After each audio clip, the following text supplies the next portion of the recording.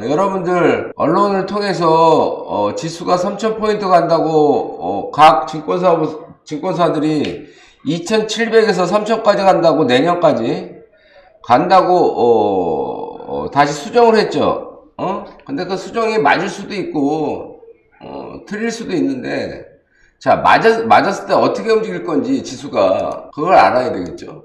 걔네들이 맞춰서 갈 때는 어떻게 갈까 지수가 어, 조만간에 폭락이 온다는 가, 폭락이 왔다 갈 가능성이 있다는 얘기야. 그래야 내년 하반기에 가능해. 자 지수는 어떻게 움직인다? 걔네들이 만약에 걔네들 말을 여러분들이 딱 신봉을 한다면은 확 죽였다 간다는 거예요. 아시겠어요?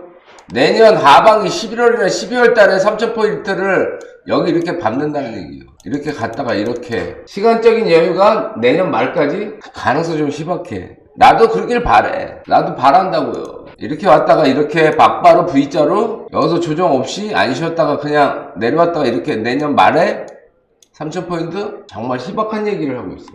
그러면 얘네들이 이렇게 갔다가 이렇게 3,000포인트 간다? 얘네들이 지금 생각하는 거는 이렇게 해서 이거 아니야.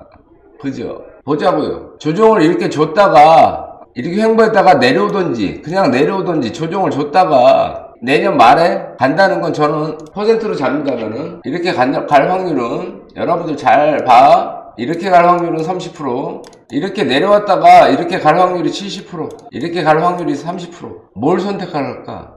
여기서. 이걸 선택해 여러분들? 나는 이걸 선택해.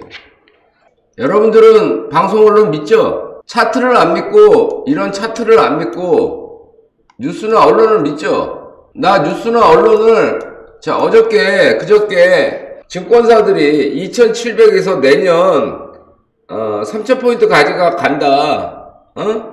지수 상향을 했어요. 어저께, 그저께 증권사들이 지수에 대한 음, 높이를 2,700대에서 상향 조정했죠. 3,000으로. 내년까지. 그러면 계속 좋다는 뜻으로 여러분 비치죠. 그 말 뜻은 내년도 5월 12월 달이니까 내년도 좋다는 뜻 아니야.